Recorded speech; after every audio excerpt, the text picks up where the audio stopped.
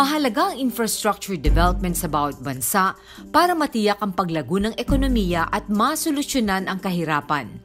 Sa Sri Lanka man, Indonesia o sa Pilipinas, pareho ang inaasam. Ang magkaroon ng epesyenteng infrastruktura para guminhawa ang buhay. Iba-iba lamang ang pamamaraan para matamo ito.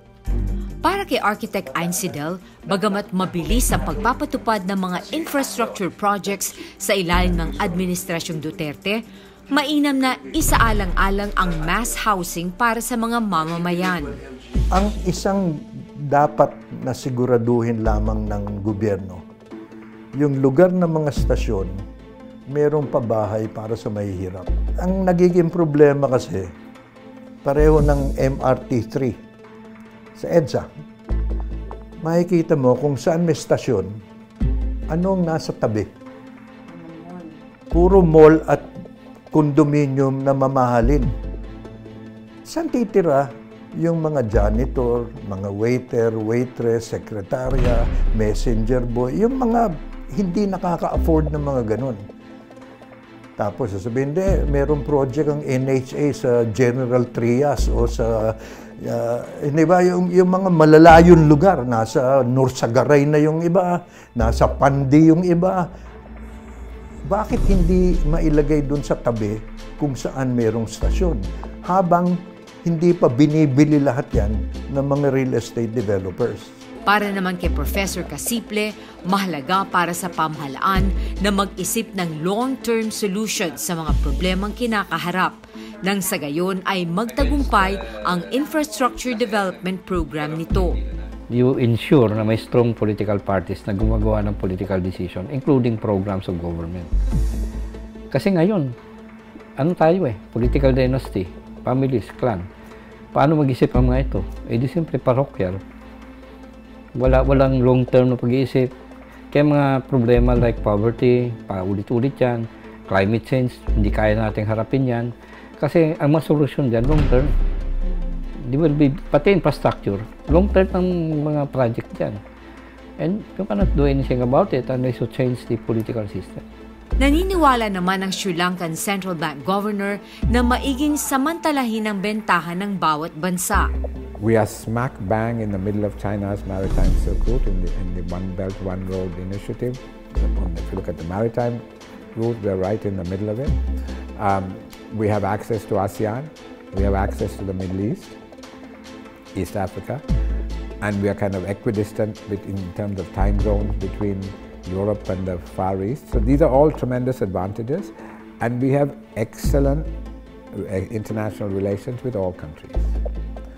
Uh, and recently, um, Sri Lanka has attracted the attention of the major powers because of the, the, the geopolitics of the Indian Ocean region. So all that, we have to be very clever. You know, I think the term is box clever. We need to box, box clever to take advantage of these advantages we have in relation to our location and in relation to our international relations. Ayon kay Secretary Waideratna ng Sri Lanka, may pamantayan ang epesyenteng public transportation. Uh, I think we are very much relying on public transportation system and we want Uh, the uh, uh, people to attract from the private vehicles into Uh, the uh, public transportation, uh, which symbolizes in the, the mayor of Bogota once had said, the developed country is not a country where poor people travel in private vehicles, but developed countries somewhere the rich people travel in public transportation. Ang Indonesia naman ay may sariling pananaw sa pagsisikap nito na matamo ang progreso sa infrastruktura. So economically, so we are more advantageous working with China rather than US. So this is lesson learned from everybody. So what is the future? I think the ASEAN uh, development people may say that 21st century, the Asian age, which is probably led by the Chinese. The Chinese have uh, quiet technology, they have financial power, they have technology. So, and they are quite friendly to cooperate with us and welcoming to us. And, and, and in this case, the transparency and open up and talk to each other is very important.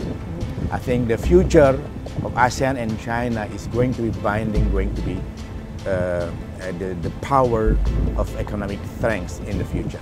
I hope that we would continue to provide uh, the right kind of environment uh, that uh, would uh, basically be a beacon of uh, success, island of integrity in, in the whole of ASEAN and the engine for growth. Um, this is a big country, 270 million people. Uh, it's growing at around 5%. We're capable of growing 6, 6.5% if we put together the right policy. I'm proposing a big push strategy in terms of food, energy, and water uh, uh, issues that uh, are going to be uh, major issues going forward. So yeah, I think Indonesia, along with uh, other ASEAN countries, the Philippines, Malaysia, Thailand, could uh, could be, including Vietnam, could be somewhere people look to to invest and see where democracy, prosperity, uh, equality, justice can, can take place at the same time. Maraming pagkakahalin tulad ang Pilipinas, Sri Lanka at Indonesia. Marami ding matututunan ng isa't isa sa mga naging karanasan ng bawat bansa. Pero sinasabi ng mga eksperto na walang shortcut sa mabilis na paglago ng ekonomiya at wala ring maipapalit na infrastructure development para matamo ang pag-unlad ng bansa. Sinisikap ng pamahalaan na agarang mapaganda ang sistema ng transportasyon sa bansa sa ilalim ng Build, Build, Build program ni Pangulong Duterte. Mahalagang magkaroon ng maayos at epesyente pagpapatupad ng mga proyekto, malinaw at mabisang polisiya para sa pribadong partisipasyon at tamang paggugol sa pondo ng walang korupsyon. Nang sa gayon ay tunay na guminhawa ang paglalakbay sa bansa at may pagmamalaki sa buong mundo ang mapitagang infrastructure development sa Pilipinas. Magandang gabi. Ako po si Veronica Baluyot Jimenez at ito ang istoryang aking naitala sa Veronica Files.